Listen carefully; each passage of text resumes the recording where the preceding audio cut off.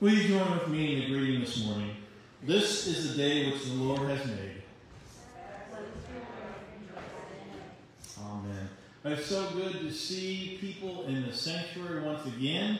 Just in my rough math, there's about 18 of us in here in person, and uh, glad to have those that are online with us as well. Uh, it's it's uh, it's just great to have people back in the sanctuary. I just say that, and uh, we're we're glad to have you here. Uh, glad to be part of the worship. Uh, do, tweaking a little few things during this season of Lent, just to uh, just because of the nature of how we're doing things. So that'll be in uh, you'll, you'll see that as we go in our transitions in our worship time together. Uh, but I'd like to share our announcements this morning. We have, uh, just a reminder, food pantry donations will be cash until further notice. Bible study on Zoom tomorrow night.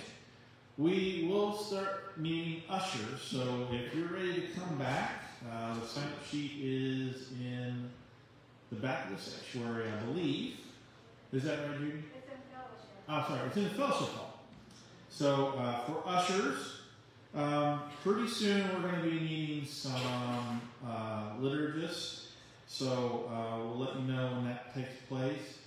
Um, I, we're looking pretty close, I think, uh, possibly having our camera system, our new camera system, installed in the next several weeks, hopefully before Easter. So we're, we're still waiting. It's getting closer and closer. Um, so that's we're going to expand what we do up here at that time. Easter lilies. The sign-up sheet is in the fellowship hall, and we will also make sure that if you'd like to do it online, that uh, through our van code, we'll get that set up there as well. Um, each flower is ten dollars. Put your money in a cute envelope and mark it Easter lilies. For those that are here, put it in the offering plate, or you can mail it in the memo line. Put who you want in memory of. And those are due by March 11th. Any uh, other announcements anybody needs to share that are here this morning? If not, will you join with me in a word of prayer? Spirit of the ages, name us and claim us according to your purposes. As you once called Abram and Sarai long ago, train our ears to hear your call and tune our hearts to open all of our senses to the sound of your voice. As we pick up our cross to follow you, raise us to newness of life. For you call, for you call us to be children of the covenant of the promise that comes through Jesus, heirs with Christ, disciples of Jesus. In His name, we pray. Our first song is "Where He Leads Me."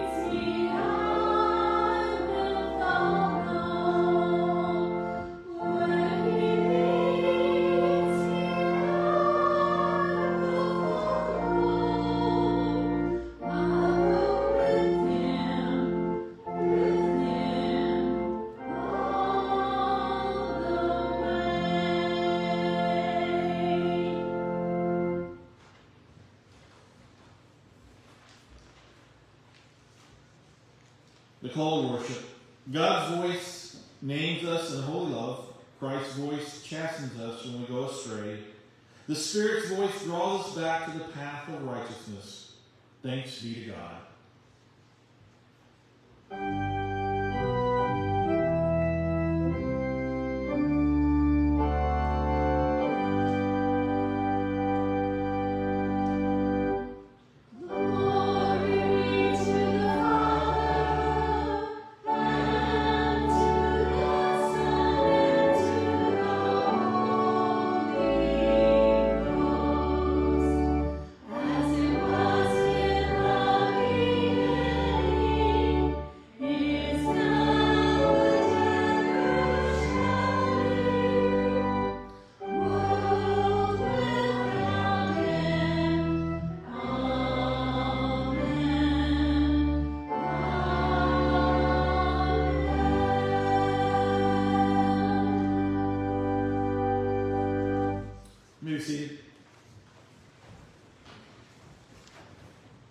Since I am doing two scripture verses for Lent, I want to share the first one at this time Genesis, the 17th chapter, verses 1 through 7, and verses 15 to 16.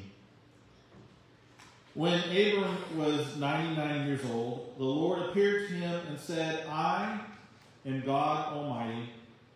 Walk before me faithfully and be blameless. Then I will make my covenant between me and you, and will be great and will greatly increase your numbers. Abram fell face down, and God said to him, As for me, this is my covenant with you. You will be the father of many nations. No longer will you be called Abram, your name will be Abraham. For I have made you a father of many nations. I will make you very fruitful. I will make nations of you, and kings will come from you. I will establish my covenant as an everlasting covenant between me and you and your descendants. After you, for the generations come to be your God, and the God of your descendants after you. God also said to Abraham, As for Sarai your wife, you are no longer to call her Sarai, her name will be Sarah. I will bless her, and will surely give you a son by her. I will bless her so that she will be the mother of nations. Kings of peoples will come from her. Our next hymn is El Shaddai.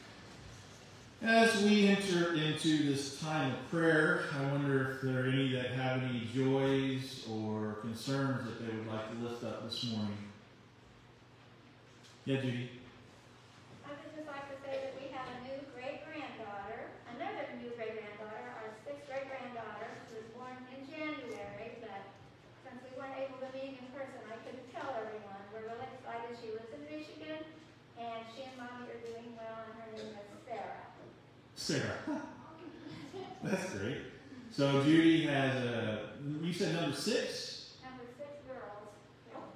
Six, just all girls? Six great-granddaughters, one great-grandson. Oh, okay. So six great granddaughter, one great grandson. New great granddaughter born in Michigan named Sarah. That's appropriate for today. Any others that we want to lift up in prayer? Yes. Um, so Quincy, my, uh, Jason's wife, will be induced on March fourteenth, so I will not be here because I'm pregnant. So, um, please say prayers for her that she has a smooth delivery, the baby's healthy. And then say a little prayer for, uh, Katya, because their baby's due April the seventh. And, uh, just pray the same thing. So you got, Karen's got two, two grandchildren coming soon. Okay. Well, that's exciting and busy at the same time. So. Oh, and just one other thing, a prayer for Caitlin, she has had, she, uh, had a rotary cuff torn, so she needs to do surgery at the end of this month. So please say a prayer for her too, that it goes well, because, um, I'll be over there and Lauren, and part of it helping, because she can't lift her baby, so. Did, did you say Caitlin? Yeah, Caitlin, rotator cuff surgery? yeah. Okay. The end of this month. Thank you. Any others? Of course, we just need to continue to pray for um, our nation. Oh, we have good news coming, but um, we still need to be cautious. We still need to take precautions and uh, just be diligent. Um, but we're getting through, and that's the good news. That's awesome.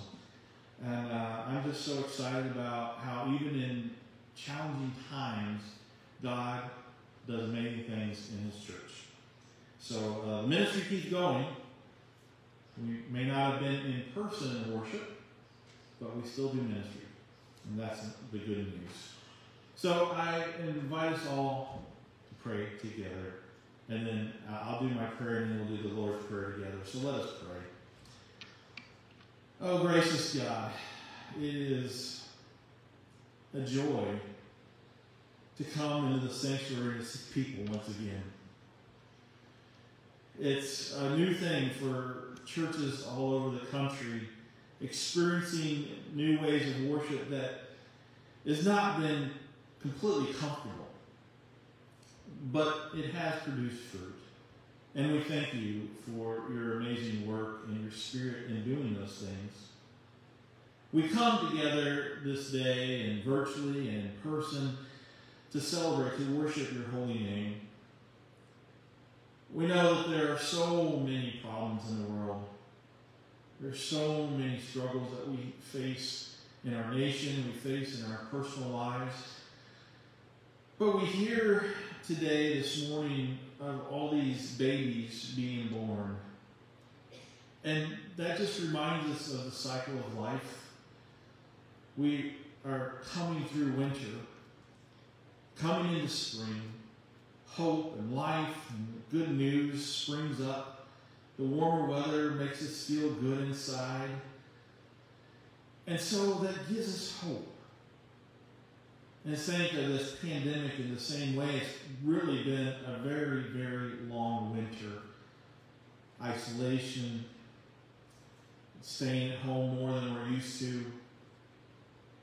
We're not quite out of it yet, but we see the light. We see the hope. And we thank you, Father, for walking with us through this time.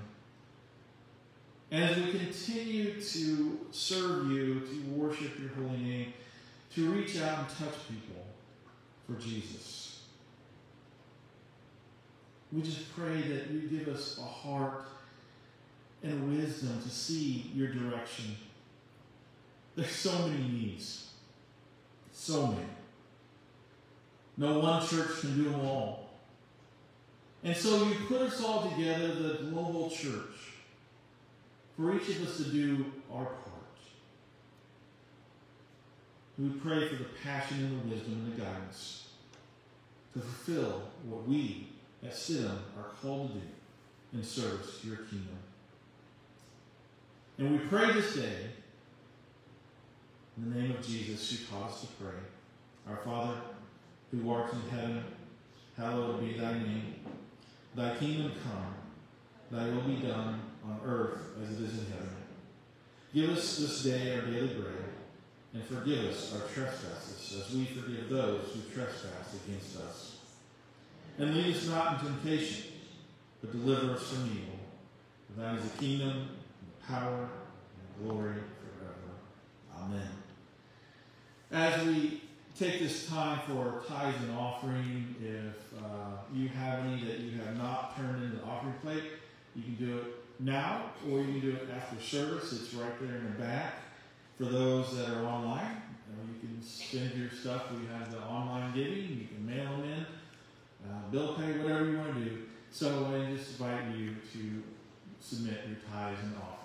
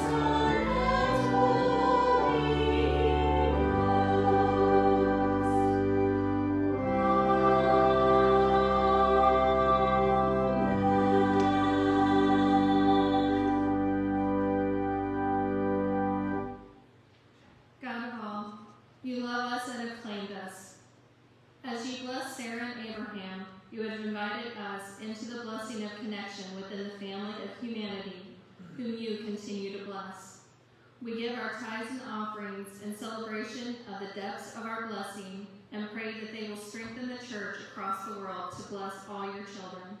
In the name of Christ, our Savior and Redeemer, we pray in gratitude. Amen. You may be seated.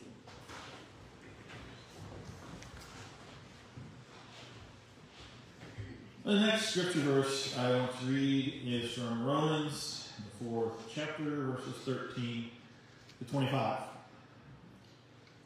These are the words that Paul wrote to the church at Rome.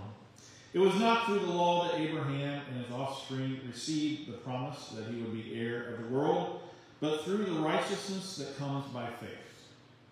For if those who depend on the law are heirs, faith means nothing and the promise is worthless, because the law brings wrath.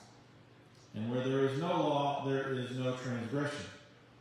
Therefore, the promises promise comes by faith, so that it may be by grace and may be guaranteed to all Abraham's, Abraham's offspring, not only to those who are of the law, but also to those who have the faith of Abraham.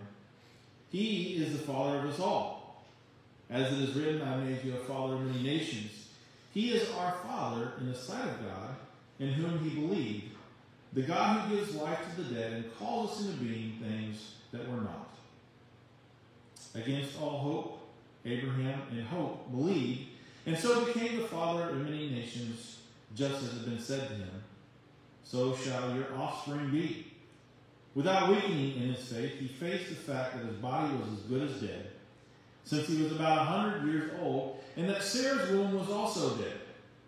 Yet he did not waver through unbelief regarding the promise of God, but was strengthened in his faith and gave glory to God, being fully persuaded that God had power to do what he had promised.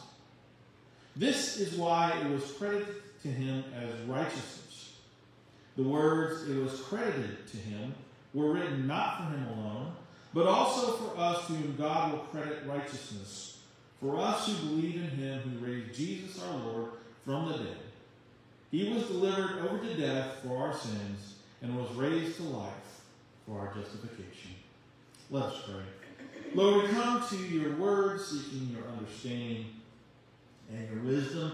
May your spirit touch our hearts here in the sanctuary, at home, or wherever we may be, to know what it means to live in faith. Amen. You know, there's always been a de- debate about who is the most important person out there. Our society has a funny way of putting value upon really how much you make. So the more you make, the more valuable you are. So based on that, our athletes tend to be the ones that look to be looked at as more valuable than most others. Whereas the debate is, well, what about the teachers that help them get to that location? And so I want to tell a story about this teacher who was nearing retirement that was considered a person that, well, you really don't have that much impact.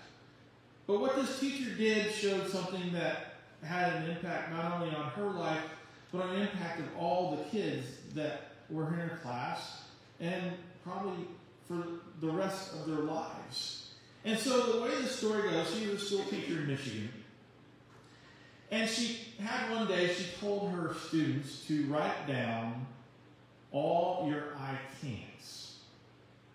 And so she did it as well. And this is some of the things that the teacher wrote. She said, I can't get John's mother to come for a teacher conference. I can't get my daughter to put gas in the car. I can't get Alan to use words instead of fists. And so that's what she wrote. And some other students wrote, a little girl said, I can't kick the soccer ball past second base. I can't do long division with more than three numbers. I can't get Debbie to like me. I, a boy wrote, I can't do 10 push ups. I can't hit the ball over the left field fence. I can't eat only one cookie. Uh, many of us probably have that problem. Well, actually, no, I do. But anyway, that were all their kids. And all the students did this, and they put them, after they got all this written, they put them in this shoebox. And they went outside and they dug this hole. And they put, after they dug this hole, they put this shoebox with all the I can'ts in them. And then they covered back the hole. And the teacher did something that was really incredible. She did a eulogy, a funeral, for this box of I can'ts. And this is how she did her eulogy. Friends, we gather today to honor the memory of I can't.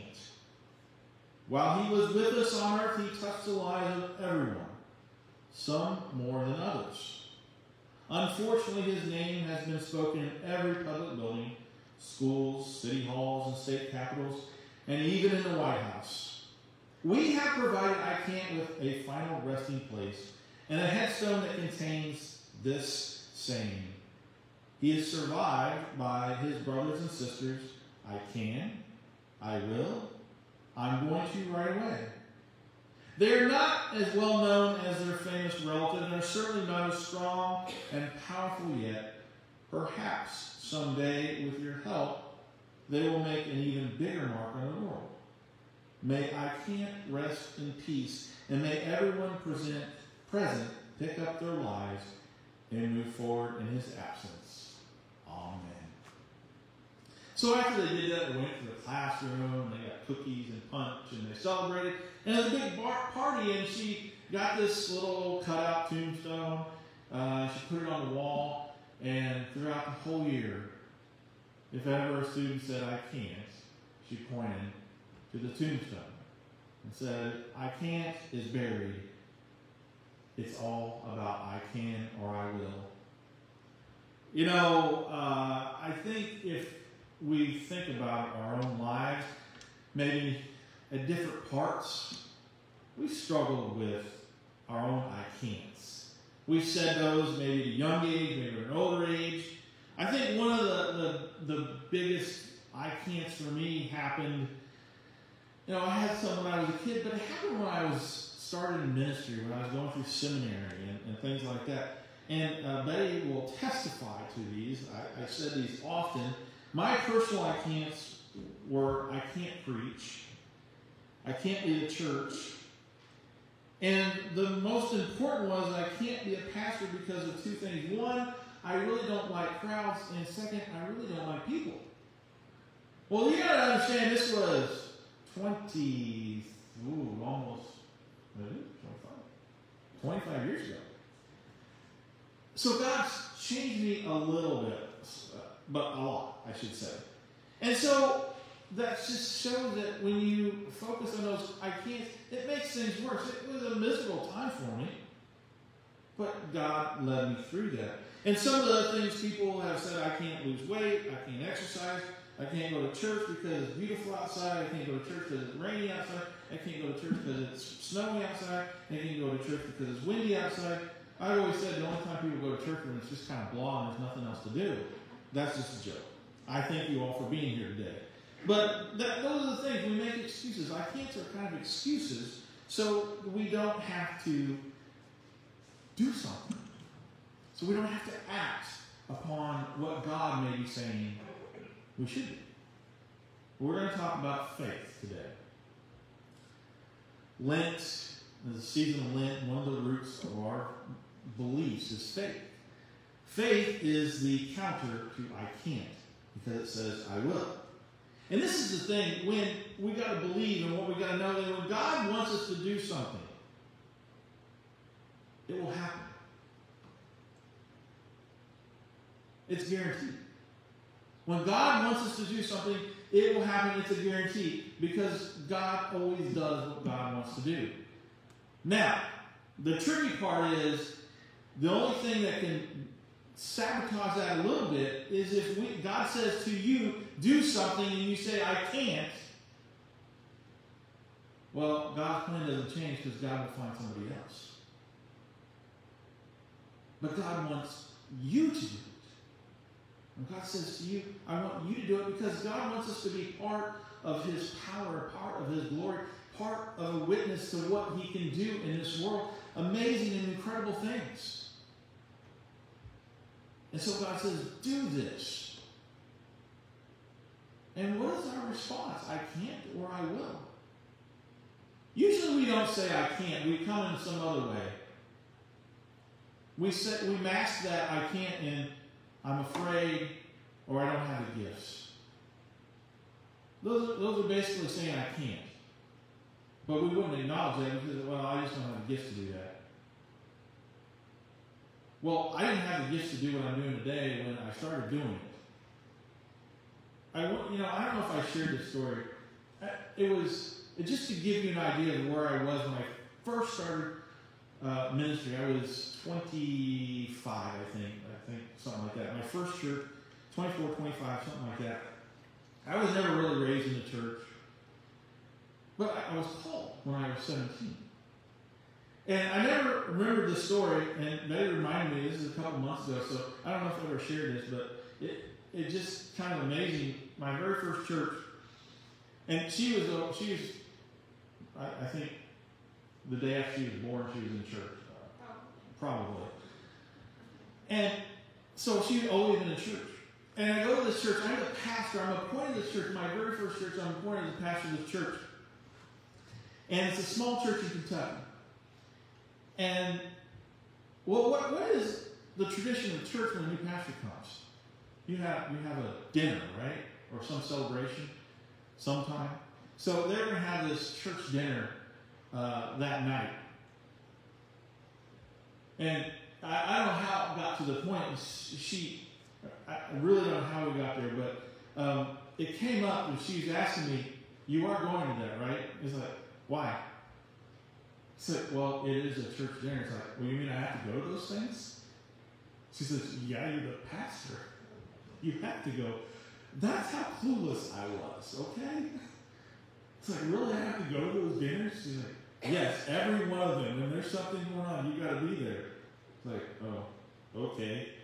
But you know, if I go back to the first point, like, but I don't like crowds. I don't really like people. So why am I here? Because God said be there.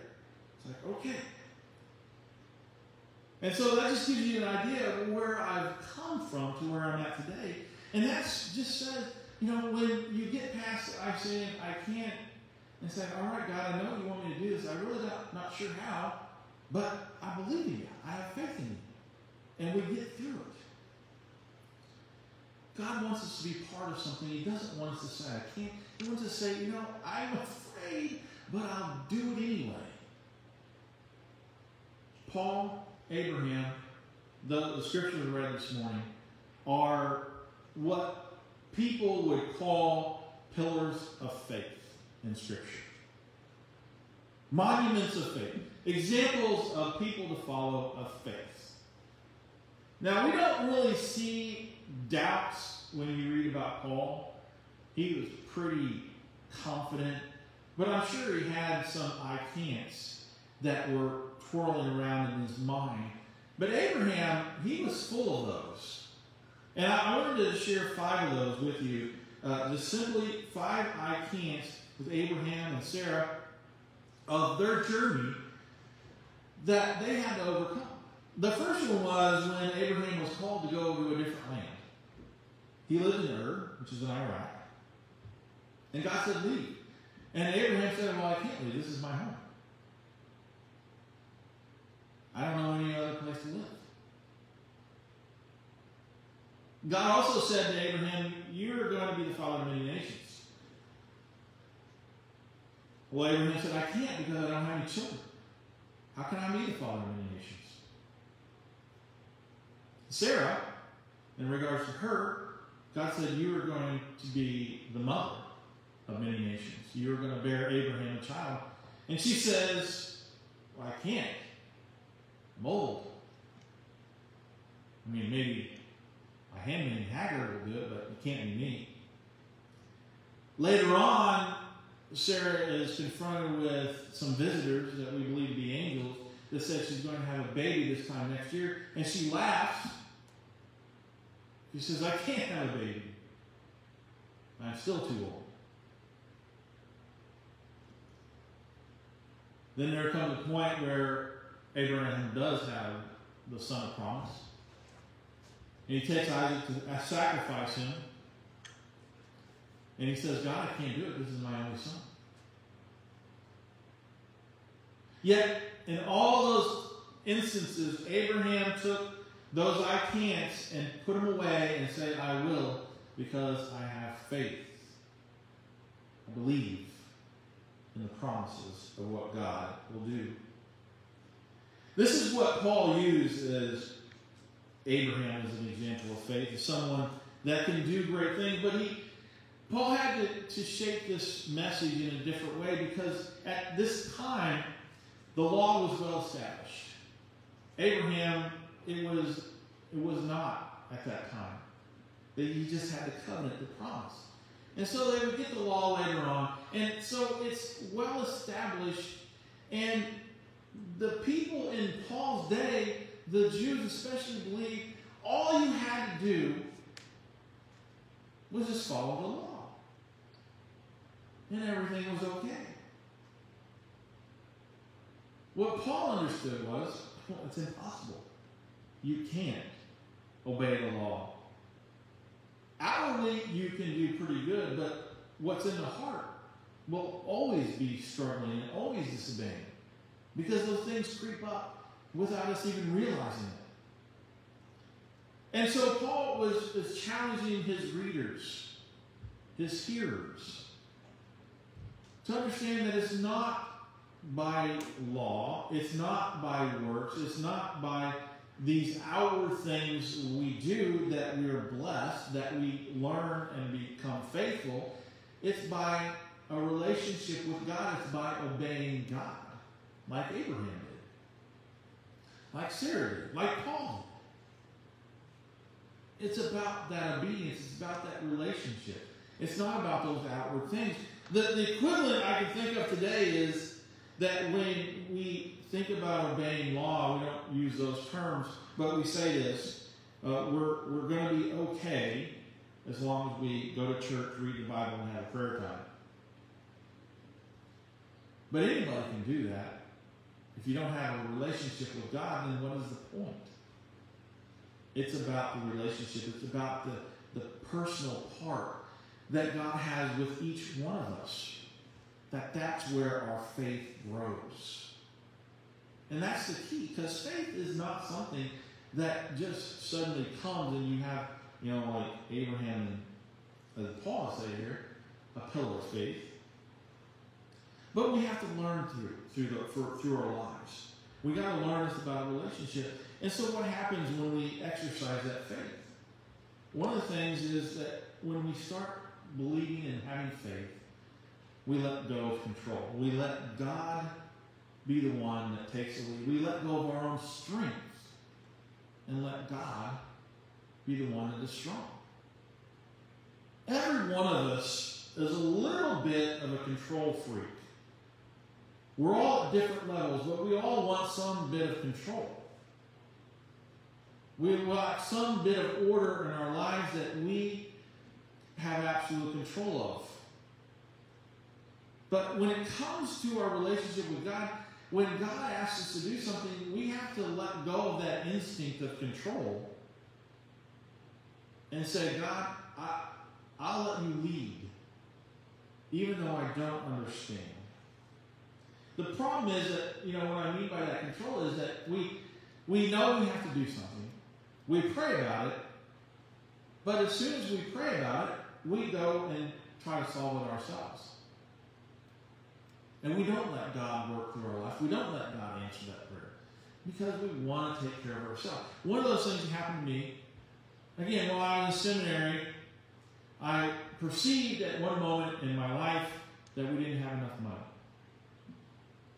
It was a perception we were okay, but it just felt like we didn't. And so I prayed about it. God, I, I need to do something about this, about needing more money. So I prayed, and immediately after I did that, I dropped out of seminary for a semester and got a part-time job. Was that what God wanted me to do? Well, I didn't wait for an answer. I just did it myself. Because I wanted to solve the problem, because there was a problem, I'm going to solve it and take care of it. So that lasted about a month. It's, it's kind of like the, the same example that God said to Sarah, You're going to be the mother of nations. And said, Well, I'm too old. Well, here's my handmaid Hagar. I'll let you know Abraham sleep with her. Then that's how God's going to fulfill his promise. So she heard the promise, and then she started praying about it and figured out on her own what she was going to do without really listening or consulting God. The same thing as I did. That's one of our dangers is when we rely on our own strength, our own abilities, our own wisdom, we miss out on what God can do. And that comes to what the second thing I want to share you about faith is that when we exercise that faith, God can do things beyond what we could imagine. We have limited ability to think. It's finite. We can't see everything in our future. God can. And so when we take things in our own hands without consulting God or waiting for an answer, then we're missing out on what God can do and will do. God's for Sarah. God's plan was never for Hagar to be in there. It was for her. And then later on, she did become pregnant. She did bear the child. It did work out, even when she was too old to bear children, because it was a miracle. Because it was beyond what she could imagine. The same thing happened to me. I, I perceived a problem. I needed money. I was in school. Drop out of school. Get a job. And then, uh, as I said, this lasted maybe a month. And then I get a call from somebody in the church. Would you come over? Sure. Long story short, I came out of that with a thousand dollars and a saying, stop that job and get back to seminary. I was like, okay, God, I messed this one up. I'll go back and do what you're supposed, what I'm supposed to do. It was beyond what I could possibly imagine would happen. And that's what happens when we exercise faith. When we see a challenge before us, even if it's, you know, this doesn't have to be a personal challenge, it could be a church challenge. It could be something that God says, this is what I want you to do, a ministry I want you to reach out to, a people I want you to serve. And we can say, well, we don't have the resources for that. That's also, I can't. But then when we pray about it, when we are convinced and convicted, this is what God wants us to do, then we know this is where I need to go. This is how I need to exercise faith. And know that it can happen in a way that is beyond my imagination. Because God still does miracles. But here's some good news for us all. Abraham, Paul, Moses, another example, all pillars and examples of faith, but they weren't born that way. It's a work in progress. It doesn't matter where you're at today. All you need to know is that if you know that God is working in your life, your faith will grow. It will be strengthened. Take Moses, for example. He led the people, the Hebrew people, out of slavery. Some 400,000 people, probably, when you do all the math. They were in slavery for 400 years. It took Moses 40 years in the wilderness, and before he was 80 years old, before he figured out how to have faith in God. So it's a work in progress. Our faith is a process, it's a journey. We have all this lifetime, and that's why we're here, is to grow in our faith, to learn to be more faithful. To learn to see what God will do in and through us. So don't be discouraged where you're at today. Don't be discouraged and compare yourself with someone else. They say, well, they have so much more faith than I do. None of us were born with it. None of us get to faithfulness without challenges, without heartache, without doubts, without failures, without stumbling. We have to learn the hard way. And so we grow in our faith. So be encouraged. God is not done with you yet. God has your entire life to transform you and does take our entire lives. Until the day we die, we are learning and growing in faith. And not until we enter eternity do we receive the fullness of what it means to be faithful to God. Hebrews 11.1 is one of the great classic passages of faith. Now, faith is confidence in what we hope for and assurance about what we do not see. Here is the hardest part of faithfulness. Abraham and Paul and Moses, and the list goes on and on and on, never saw what they were promised. Abraham was promised to father many nations. He knew of a child. He was dead long before all his relatives came to be. So faith is exercising, doing God's will, knowing and convinced that God wants you to do something, also knowing that you may never see the fruits of your labor, that your faithfulness may be for a generation or two generations down the road, that you may never see the fruit of what God is doing to you. That is exercising true faith. Knowing that you may never see it. We always, we're results oriented people. We want to see results. We want to see uh, something from what we have done. And sometimes we're blessed with that, but sometimes we will never see what we are called to do. As I, I shared this before, the man that left the money to this church was that was in his will. He didn't see this church built. He didn't see what this church would come to be. And every church has one of those stories. Many have sacrificed and done things that was not realized in their lifetime. Faith is confidence in what we hope for and assurance about what we do not see because we cannot see the future. And that is good news for us. We just do our part. Our small part for the building of the kingdom. It doesn't have to be great. We just have to be a person willing to say, I will. And when those I can't start flooding into our head, which they always will, we just put them out, ignore them, say, I can with God. Let us pray. Lord, thank you for your Spirit that transforms us to be who we're called to be. Help us to practice faithfulness. In the name of Jesus, Amen.